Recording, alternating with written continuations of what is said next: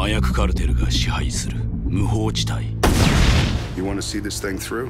I'm gonna have to get dirty. I'm gonna help us start a war. How loose? 彼らの任務は No rules this time. カルテルを混乱に陥れること Good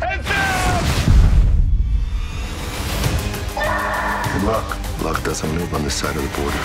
Adios.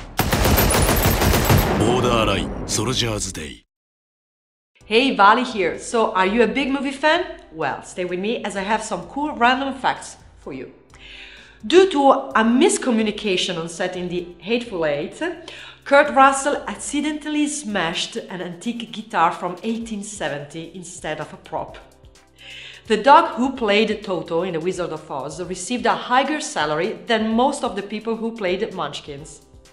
And lastly, Michael Caine was so terrified of Heath Ledger's Joker in The Dark Knight that he forgot his lines in the first scene they shot together.